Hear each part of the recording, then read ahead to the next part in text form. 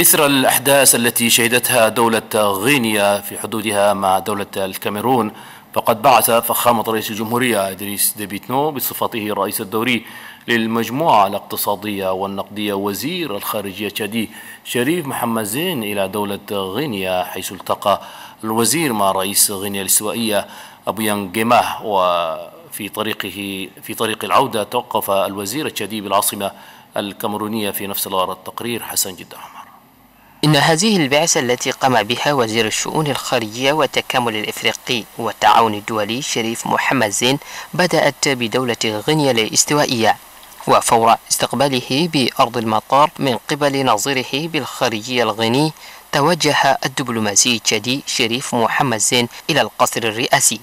حيث التقى هناك بالرئيس الغيني أوبيانجيما موفد رئيس الجمهورية الدبلوماسي التشادي شريف محمد زين تبحث معه مواضيع عدة. في مقدمتها مسألة إلقاء القبض على مجموعة مسلحة في الحدود الكاميرونية الغينية وعلى حسب المصادر إن هؤلاء المعتقلين أرادوا تنفيذ خطة إنقلابية ضد الرئيس الغيني وفور خروجه من المقابلة شرع إلى أن هذه العملية تهدد مسألة التجوال الحر بين دول المجموعة.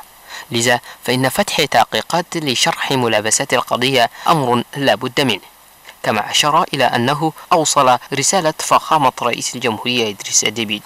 إلى نظيره الغيني مشيرا إلى أن رئيس الجمهورية بصفته الرئيس الدوري للمجموعة الاقتصادية والنقدية يسعى دوما إلى توحيد رؤى رؤساء دول المجموعة كما أن حماية الإقليم تقع على عاتقه وفي طريق عودته من العاصمة الغينية مالابو توقف الدبلوماسي التشادي بالعاصمة السياسية لدولة الكاميرون مدينة ياوندي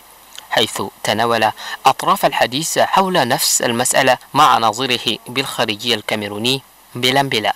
وبالرغم من الدور المحوري الذي تقوم به البلاد في حلحلة النزاعات وبسط الأمن والاستقرار في القارة السمراء إلا أنه قد قيل إن بعض المتورطين في القضية يحملون الجنسية التشادية